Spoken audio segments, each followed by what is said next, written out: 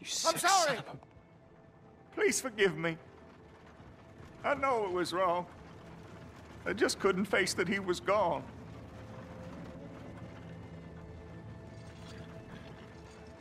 I was teaching Sammy how to hold the rifle proper out by the river.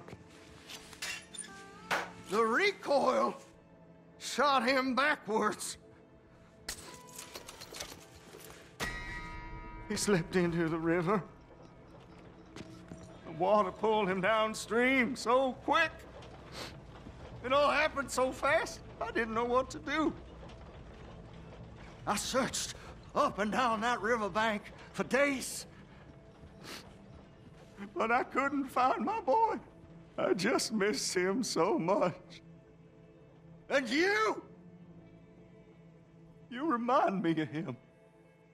You look just like him. I'm so sorry. Please forgive me.